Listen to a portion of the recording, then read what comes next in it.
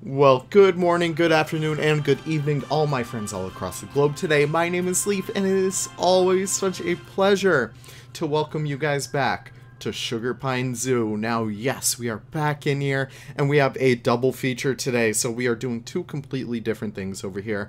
We are doing not just one, but two features of this entire section over here. So first of all, we have a little bit of a cafe that we're doing over here, a little bit of an open top cafe.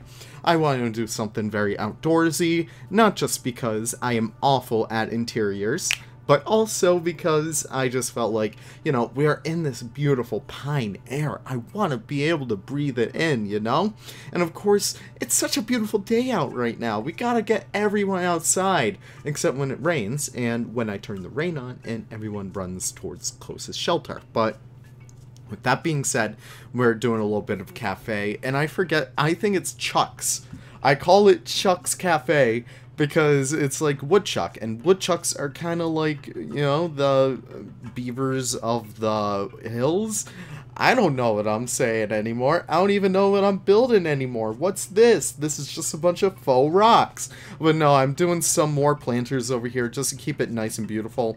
And also using kai's pathing mod to fix that up. By the way kai's pathing mod i always like to state it does work um, if you're trying to load into a zoo that has used Kai's mod in the past, um, it'll still work if you try and load into that zoo and you don't even have the mod installed. So it's just a wonderful building tool that I highly recommend. But of course, we need to put down some nice little trash cans over here, covering them up nicely. I want to integrate them right into the wall because that seemed like a good thing to do.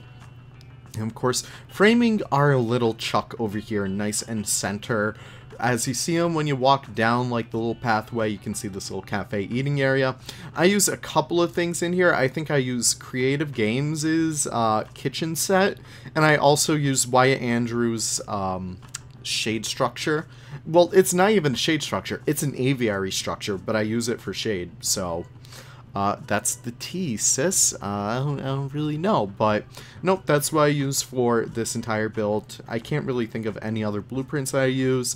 As always, I try my best to write them down and make sure that you guys know who I'm using and where I'm using it. So, of course, I just always like to, you know, emphasize on that stuff. Don't be afraid to use blueprints.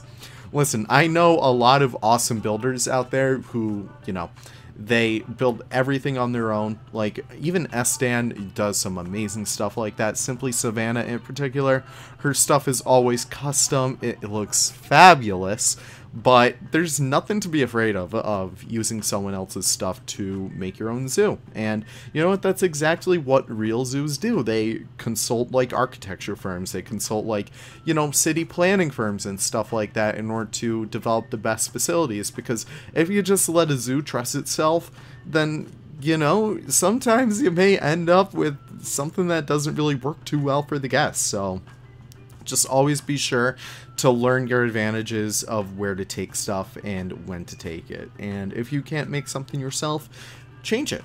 Like, even what I'm doing right here, I'm using the grill that uh, Creative Games made, and I am making it my own. So I do a complete custom, like, countertop.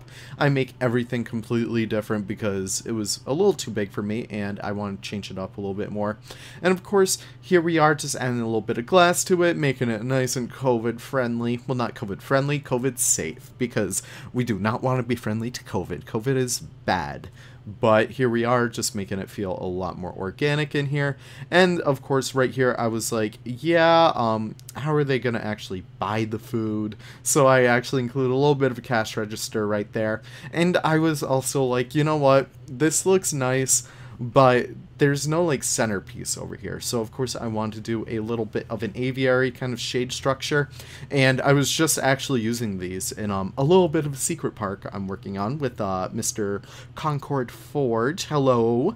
Um, and you guys will see a little bit more of that when we have more stuff to show on it. It's going pretty good so far, but we just need to sit down and really hammer down stuff. We came up with the idea of that park as like the one park we will both finish because, as you guys know, Kalahari wasn't really finished. Total Island wasn't really finished. Blackstone Zoo wasn't really finished. Now that's a little bit of a throwback right there. But anyways, we are actually using some birchwood over here. You know, not to derail the subject or anything, but we're using some birchwood to give it a little bit more decoration. I felt like it was really cute. Just have a nice little woodsy theme because, you know, it, it kind of feels like a pseudo beaver uh, dam uh, I, I don't know, I think that's kind of cute in that regard. It just looks pretty neat in the end. And of course, here we are working on the stars of the show this week, the seals! So yes, I am using the gray seal from Aquatic. Can you believe it? Um, so gray seals are actually found in North America as well as Europe. And I wanted to include these guys over here to have a little bit of a double header for underwater aquatic lifestyles. So using them over here, it was a little bit of a challenge to get it to all work out right. You may be able to tell that the path kind of seems like it's acting a little impossible for in-game standards. Again, that is Kai's mod at work. You're just able to do so many wonderful things with it. I highly recommend it. But of course, we are doing a little bit of work around the actual tank itself. Nothing crazy this time around. It's a very down to earth seal habitat. I think it came out pretty good in the end. I don't know, I just really like it and like the path leading up to it. This place is really starting to feel like a zoo, and that's why I really realized, really realized, wow, okay, cool. Um, right after I finish this speed build, and you guys will see a few cinematic shots of like the entire zoo as a whole going through now. Um, it's shaping up really nicely, and I only started it yesterday. Oh my god, I love this place so much. But of course, we're doing a little bit more rock work. Big emphasis on the rock work over here. I also copy over the same building from the Sea Lions. I just figured, you know what, if it ain't broke, why fix it? So I definitely do gun to use a few of those. But here you see me try and do like a nice viewing canopy over there, but it doesn't work out, so I just make it a squared off end at the end. Um, yeah, I just said end twice in the same sentence. That's wonderful. Thank you, Leaf. Uh, I also do something over here that's a little bit of like a sunken down area. I always love these, just like little tiny places out of the way so that you can kind of relax and maybe stay off the beaten path a little bit more. And I'm not even sure if I might open that up so I could have like, you know, maybe even more people be able to see the underwater viewing from that end. But for the time being, I just cover it out with some like wood panels and stuff. I think it comes out pretty nicely. Um, it's very clean, I'll admit that. Of course, leading the staff pathway back there. Again, not really going to have an emphasis on staff facilities and realism going forward, just because, well, realism, quote-unquote, uh, hyper-realism. That's what I like to say when, um, you start to get stuff like, you know, backstage coolers and stuff like that. Yeah, that's not really my style. I love seeing that stuff. Don't get me wrong. I love seeing that stuff, but that's just not me. That's not my style of building, and I'm not going to try and lie to myself that that's not my style of building. Uh, you can see, definitely, I just copied it over. Why not? If it ain't broke, don't fix it, you know? And of course, the foliage is what ties this entire area together. It's what ties this entire zoo together. And working in a taiga biome, it's so fun. Like, you get to have these nice, beautiful, tall trees that tower over your entire landscape. It feels so fun, and having, like, this little spra splash, wow, this little splash of aspen yellow over there, it is such a wonderful thing to have. And just making sure that everything looks nice and natural. And I actually do something very fun over here. You guys might be able to tell from the thumbnail hopefully if I actually use that. I don't know, I'm really bad at planning if you guys can't tell. But I do this little bit of a rock shade structure, and this was my way of getting around doing, like, you know, another, you know, I'm trying to think of the word here. The organic shades, shades? Yeah, it's just shades. Yeah, that's a word. Thank you, Leaf. Great job. Great job. You're excellent commentary, I must say so. Um, but no, I want to do something a little bit more natural, make it feel pretty in line with like the aquatics that we have going on over here. So I instead opt to do something a little bit more rocky, have it be like a nice little rocky outcrop, and it actually sets itself up to be a nice little pedestal for a sea lion statue, as well as some seal statues going right up it. So I don't know, I just really do like that in the end. It just seems so neat. I don't know, I really do like it. It feels so natural. I of course do a base with the faux rocks and then I cover it up with the taiga rocks right above to give it a little bit more of a natural coloration. Just combining the two really does help even like in any other zoo, combine two types of rocks instead of one, and you're bound to have a beautiful looking product in the end. I cannot recommend that enough. But of course, Oh, where am I? I forgot what I even did at this point. Yeah, just making sure that, yeah, literally what I just recommended, combining the rocks and making it look a little bit more natural.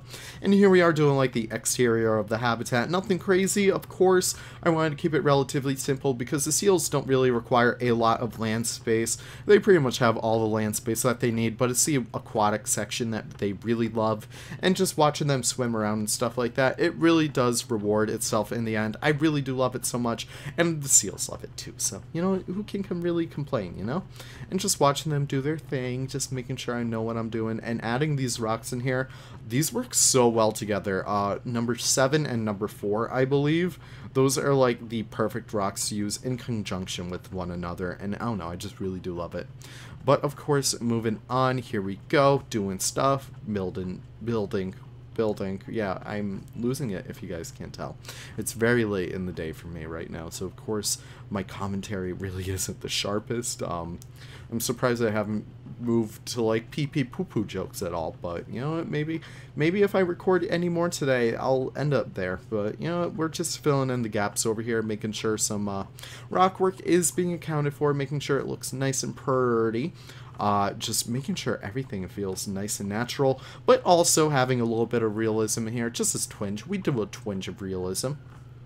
And you can see me actually try and do some shade structures over there. I forgot whose blueprint those were, but um, I didn't actually use them because it felt way too obtrusive. So maybe I'll go back and redo it, but in the meantime, I'm adding some grasses and foliage up above to all the habitat, really, to make it feel a lot more natural, make it feel a lot more welcome within the area itself, just having those bare rocky outcrops. It doesn't really do much for immersion and stuff, but having all these plants in here, making sure it's nice and lush, making sure it feels like it's been here a little while. It really does help it in the end. And also adding these faux rocks on the bottom over here, doing a little bit of ceiling work.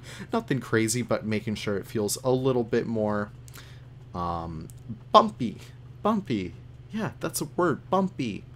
Um, yeah, perfectly. Great commentary. but here I am doing the rest of the work over here, copying over the fences from before, from the sea lion habitat, and just making sure it all flows nicely over here. And they actually presented themselves in the perfect way down here for me to kind of sink them down and continue it down there so I could have this be nice and flat over there. Oh my god, I did not want to do anything special over there.